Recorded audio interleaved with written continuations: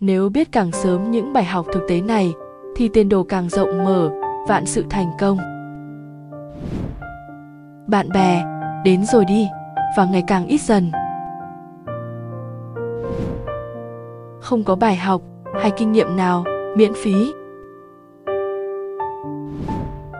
Một số người tốt với bạn có vụ lợi. Một mối quan hệ chỉ tốt đẹp khi được vun đắp. Ai cũng có những vấn đề riêng của mình. Bạn không thể làm hài lòng tất cả mọi người. Những mối quan hệ có thể giúp bạn tiến xa hơn. Ai cũng chọn việc nhẹ nhàng, vậy gian khổ biết dành phần ai. Vấn đề của mình phải tự mình giải quyết. Không ai có nghĩa vụ, phải giúp đỡ bạn.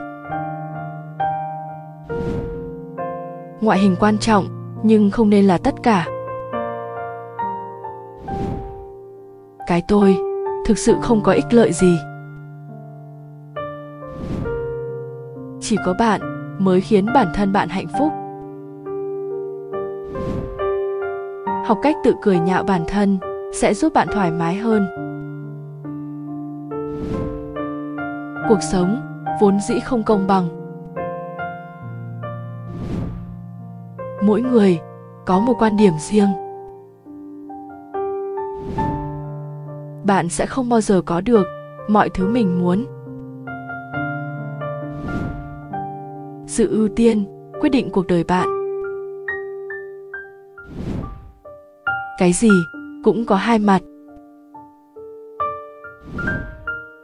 Làm người tốt không bao giờ thiệt thòi.